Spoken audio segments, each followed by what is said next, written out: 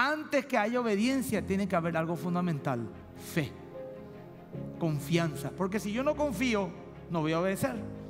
Y la fe a veces es un poco incómoda para el ser humano porque queremos ver y tener todo bien ordenado mentalmente para acceder a eso, ¿verdad? Sin embargo, Dios a veces nos dice, empezá a caminar, empezá a hacer y vos no entendés qué, qué tiene que ver eso con lo que estoy viviendo. Si alguien o una mujer entra gritando fuego, nadie va a preguntar si es cierto o no. Directamente nos vamos a ir ya a agarrar una manguera, un extintor y hacer lo que tenemos que hacer. Eso es obediencia, pero primeramente hubo confianza en lo que ese hombre vino a advertirnos.